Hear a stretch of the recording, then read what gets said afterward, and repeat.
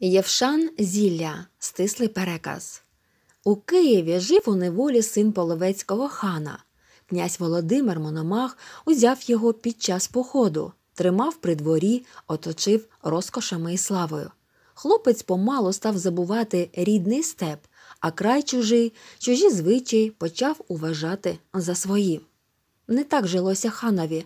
Він сумував за дитиною, страждав.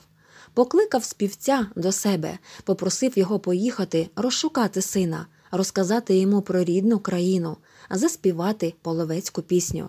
А як все те не допоможе юнакові згадати батьківщину, хай дасть йому понюхати Євшан зілля.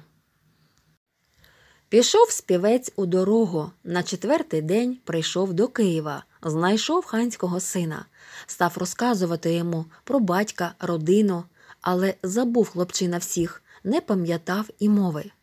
Співець по струнах ударив, заспівав про лицарські походи, про славні події половецькі, заспівав і пісні колискові, але не вразив цей спів юнацьке серце.